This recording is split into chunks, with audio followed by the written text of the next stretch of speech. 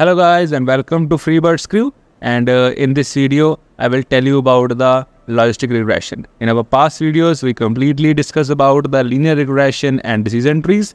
So let's start with the logistic regression. So why we need logistic regression? So logistic regression is required because it can handle the non-linear data with ease.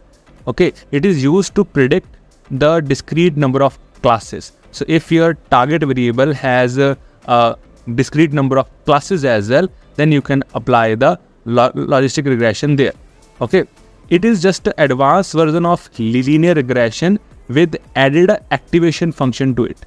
Okay, so if we just add activation function to the li linear regression, then it is called as logistic regression. Okay, so we can use the logistic regression to predict this kind of uh, data that you see example on the screen so in that example, we have this kind of uh, uh, data where y is, equal to 0 and y is equal to 1. So in that kind of data, linear regression will not work. Okay, so we need to skew the line so, so that it can be easily fit to the data as well. So to just bend the line to according to the data, we need an activation function. When we pass our linear uh, regression to the activation function, then we get the logistic regression. Okay. And then you see here, this line perfectly fits to the data as well. Okay. So, so, so now, how actually logistic regression works? Okay. So I explained that it has the uh, advanced version of uh, linear regression, but how it actually works? Okay. So it actually works by the same method as the linear regression okay it has the independent uh, variables as well. It has the uh, target variable as well. It predicts the uh, probability at the end. So as in the linear regression we get a continuous response but in the logistic regression we get a dis discrete response. Okay so how like uh, what makes the logistic regression different from the linear regression and that is the activation function. Okay, so the predicted response value that the response value which it predicts from the mathematical equation okay it passed to the activation function that is called as sig sigmoid function. Okay. And that is the equation of that sigmoid function. So when it predicts the probability of a value and then that probability value is passed to that sigmoid function, it can decide that whether it will be mapped to 1 or whether it will be mapped to 0. Okay, the sigmoid function has S-shaped curve.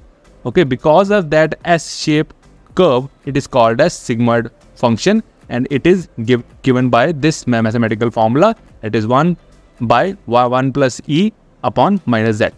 Okay, and uh, now the question actually comes that how do you decide the threshold above which you can get the probability as 1 and below 0 okay because you get the probability value you pass that pro probability value to the sigmoid function. It can map that value to the 0 and 1 but what is the threshold? Okay so the threshold to map this probability value to a discrete class 0 or 1 true or false yes or no we select a threshold value. And that threshold value is called decision boundary. Okay Above this threshold value, we will map the probability values into class 1 and below that value we can map the values to the uh, class 0. Okay, mathematically we, we can like take a threshold value of 0.5. Okay, so the probability value which we get if that is above 0.5 then we can mark it as class 1 and below we can mark it as class 2. You can also adjust these this uh, threshold value according to your problem statement. Okay. Now, what actually is this uh, decision boundary? Okay. So this decision boundary is generally it is set to 0.5. So if we get a probability value greater than 0.5, it is we can say it is uh, 1 and if it is below then we can say it is 0 okay it is actually a kind of a, a, boundary to your sigmoid s curve and then what are the assumptions of the logistic regression okay so we also know the assumptions of linear regression as well so the it can be very similar Okay, so the logistic regression requires the dependent variable to be binary, multinomial, or ordinal in nature. Okay, it requires the observation to be independent of each other. So there should be a no problem of multi-collinearity. Okay, and the logistic regression also assumes the linearity of independent variables and the log odds. Okay, and the success of this depends only on the sample size. It requires a very large sample size to achieve the high accuracy. Okay, so these assum assumptions are clearly similar to the linear regression as well, but the difference only comes in the form of dependent variable. So in the linear regression, we have a continuous uh, dependent variable, but in this we have a discrete dependent variable. Okay, and uh, then what are the like different types of uh, logistic regression? So logistic regression is of three types. The first is binary, and the second is multinomial. Third is ordinal. So the binary we can know it is true, false, good, bad, and uh, yes or no, spam or not spam. Okay, these are the like binary logistic regression target variables. But what about the multinomial? Multinomial is called type of categories we have, like the, type of fruits, type of vegetables. Okay, these are like different different types of uh, things we can add in the multinomial logistic regression.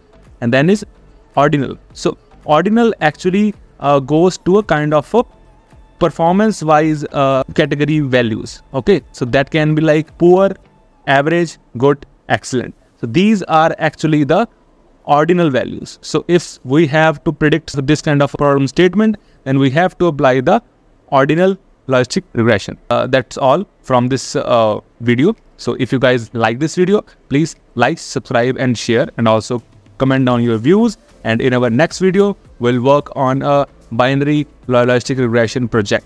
Okay, and in that I will completely explain all the data analysis along with the uh, binary logistic regression machine learning model. Thank guys. Thank you. We'll meet in our next video.